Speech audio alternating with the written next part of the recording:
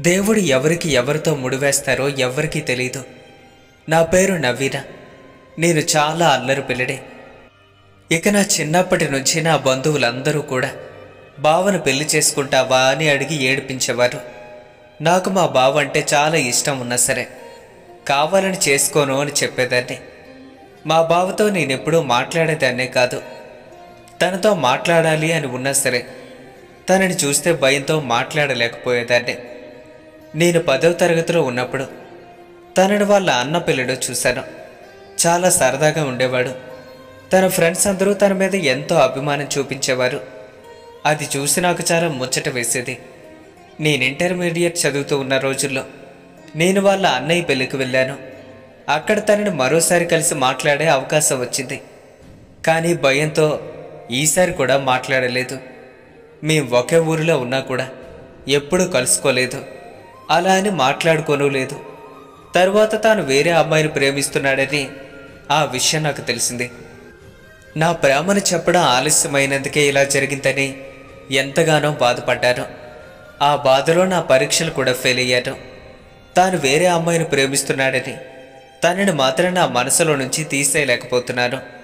నేను కాలేజీకి వెళ్ళేటప్పుడు రోజు తాను పేపర్ చదువుతూ కనిపించేవాడు. నేను తనని చూస్తూ ఉంటే తన మీద ప్రేమ ఇంకా పెరుగుతూ ఉండేది. నేను పై చదువుల కోసం వేరే ఊరికి వెళ్ళాను.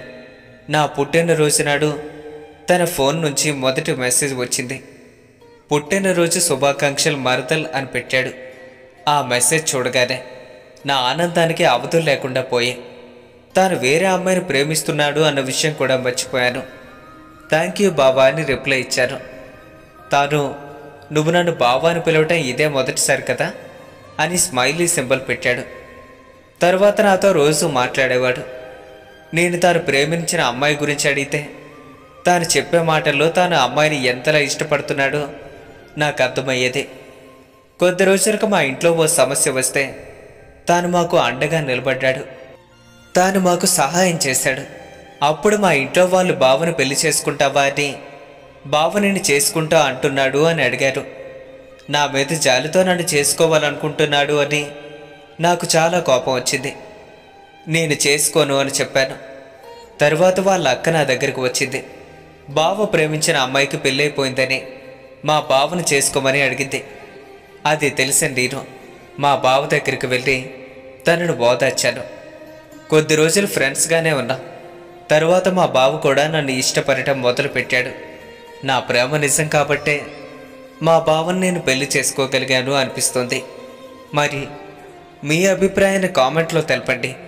ఈ వీడియో మీకు నచ్చినట్లయితే లైక్ చేయండి. ఇలాంటి మరిన్ని స్టోరీస్ కోసం ఇప్పుడే మన ఛానల్ను సబ్స్క్రైబ్ చేసుకోండి.